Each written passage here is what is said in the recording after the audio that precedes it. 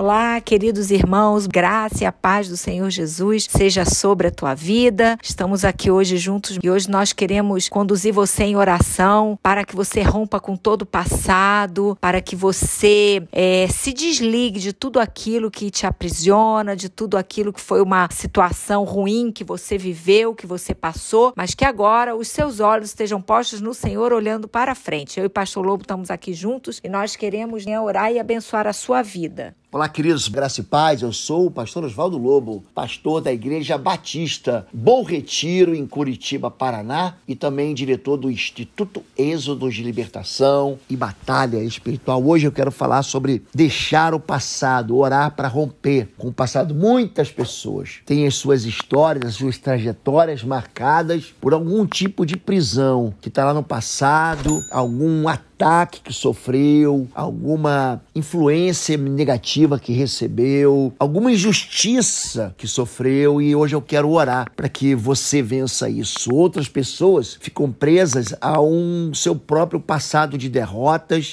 a uma culpa que elas têm de alguma maneira traído, roubado, enganado, se sentem perseguidas por um passado que os culpa. E hoje eu quero orar por isso. A Bíblia nos chama atenção em Isaías 43, de 18 a 19, e ele diz assim: não vivam no passado. O pior lugar para você viver é no passado. A pior endereço para você morar é no passado. E verso 19 de Isaías 43, Deus nos orienta a olhar para frente e perceber que há algo novo acontecendo, algo que tem chegado perto da gente e a gente não deixa esse novo de Deus acontecer. Deus promete abrir um caminho de rios no deserto e frutificar de novo a nossa vida. A gente deve ser grato pelo que o passado nos ensinou, mas não podemos ficar lá. Então, o melhor momento que se vive é hoje. Esse é o melhor momento. Pastor, mas lá no passado eu tinha e agora não tenho. Lá no passado eu era feliz e agora não tenho. Se você ficar preso ao sabor de alguma delícia que você experimentou no passado, isso não vai te satisfazer. O que vai te satisfazer é você buscar novamente essa felicidade, buscar novamente a sua prosperidade, novamente uma vida com Deus no dia de hoje. Então, você deve entender que a igreja ela começa no fim.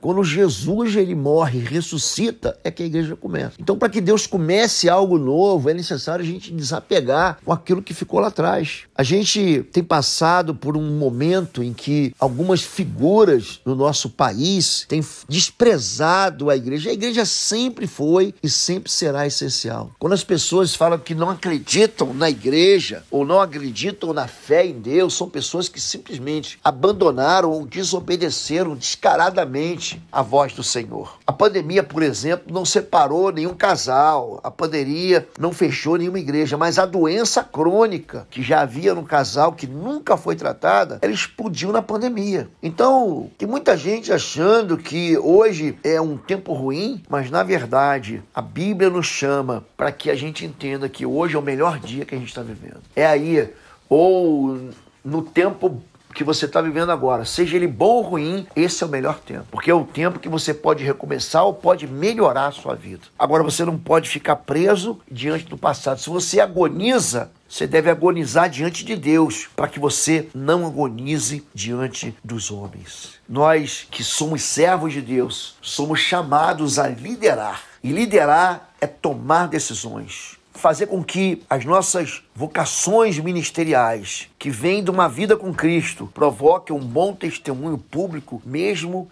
em tempos de agonia. Eu quero dizer para você que existem sinais vitais que mostram que você abandonou o passado, que mostram que você deixou para trás aquilo que, que ficou. Tem muita gente que vive do milagre do passado.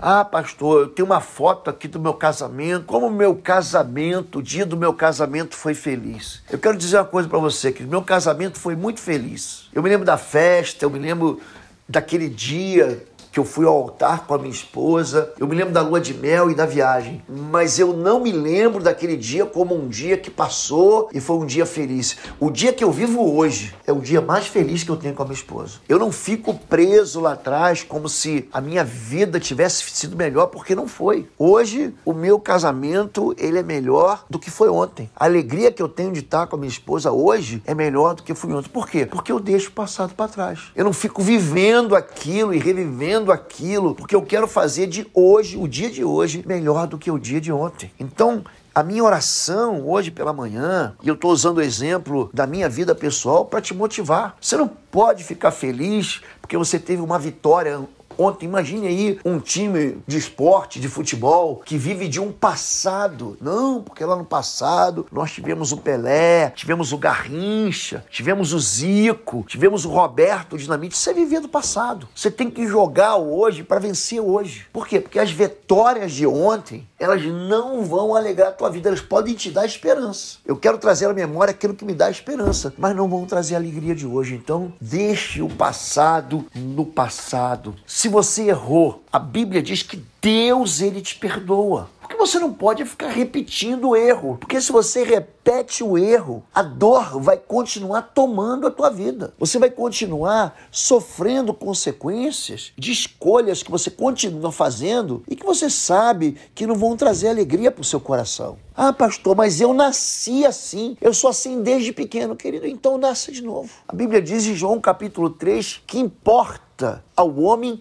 nascer de novo, importa ele ter uma vida nova com Deus. Se alguém está em Cristo, nova criatura é. As coisas velhas ficaram para trás, eis que tudo se fez novo. Gálatas 2,20 diz: Vivo não mais eu, mas Cristo vive em mim. E a vida que vivo na carne, eu vivo na fé no Filho de Deus que me amou e se entregou por mim. E agora, a pastora Fabíola vai orar. Deixa o teu passado. Se você errou, o apóstolo Paulo errou, o apóstolo Pedro errou, o apóstolo João errou. Se você olha para a vida dos homens que são ícones da fé que nós abraçamos, a fé em Cristo, sejam eles do Antigo e do Novo Testamento, todos eles tropeçaram, mas todos eles foram perdoados e tiveram uma vida nova, uma vida cheia da presença do Senhor, um futuro, porque é isso que Deus quer dar para você. É um futuro de paz e não de mal. Amém? Vamos orar para que o passado não governe mais a tua vida. Oi, gente, um rápido intervalo. Você que ainda não é membro, seja membro do canal para nos abençoar dá um like, compartilha. E se você quer crescer em libertação e batalha espiritual, vai lá na nossa loja www.institutoexodo.com. Os nossos livros estão lá que vão fazer você crescer nessa área e se tornar um valente na batalha. Deus te abençoe. Senhor, em nome do teu filho Jesus, Deus, quero colocar agora a vida de cada um nas tuas mãos, pedir que o teu Espírito Santo esteja falando com cada um deles, que eles realmente estejam abrindo mão, colocando diante do Senhor todo o trauma, toda a dor, todo o medo, toda a corrente do passado. Senhor, e que o Senhor traga sobre a vida deles liberdade, que o Senhor traga conserto, que gere no coração de cada um deles fé, esperança, ânimo, encorajamento Senhor. Crendo, Senhor, que o Senhor é Deus que restaura todas as coisas, Pai. Que o Senhor tem coisas novas, coisas boas. Tira os olhos deles do passado. Tira os olhos de toda acusação, de todo mal, de tudo aquilo que não foi bom, tudo aquilo que causou sofrimento, Senhor. E que o Senhor esteja levando eles a lugares, Senhor, mais altos, mais próximos do Senhor. Vendo, Senhor, as maravilhas que o Senhor pode fazer, Pai. Senhor, o Senhor é tão bom, o Senhor é maravilhoso, o Senhor pode fazer tudo novo, trazer coisas boas sobre a vida deles, Pai. Senhor, Senhor, em nome de Jesus, eu profetizo sobre a vida de cada um deles, que eles vão ter experiências sobrenaturais com o Senhor, experiências tremendas, experiências felizes e que todo o passado vai ser deixado para trás, Deus. Tudo aquilo que tem que ser largado, abandonado, vai ser deixado, sepultado, Senhor. E o Senhor tem uma nova vida para cada um deles, em nome de Jesus, Deus.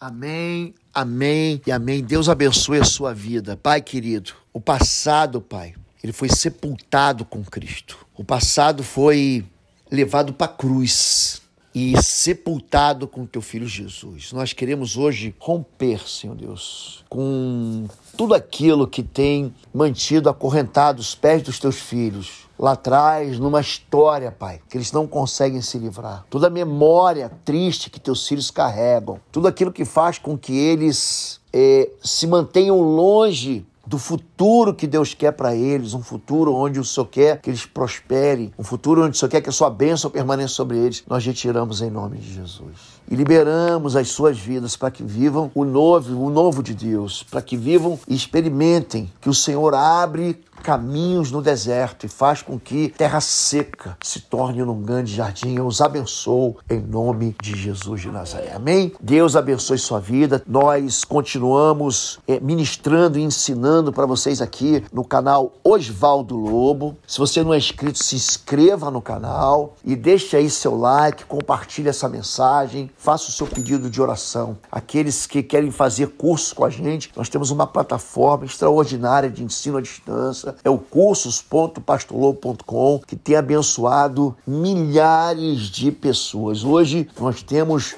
atualmente milhares de alunos, pessoas, pastores, líderes, não pastores, pais, mães, filhos que têm sido abençoados. Entra lá em curso.pastorlobo.com, aproveite que existe um código de desconto que você pode aplicar para ter desconto ou usar os combos. E se quiser fazer o curso com a gente presencial em Curitiba, discernimento espiritual, onde nós vamos mapear fortalezas e destruir cativeiros. Você é nosso convidado, nós vamos estar aqui de 7 a 10 de outubro juntos. Entre lá no site www.institutoexo.com, www.institutoexo.com e faça a sua inscrição. Deus abençoe. Deus abençoe, queridos.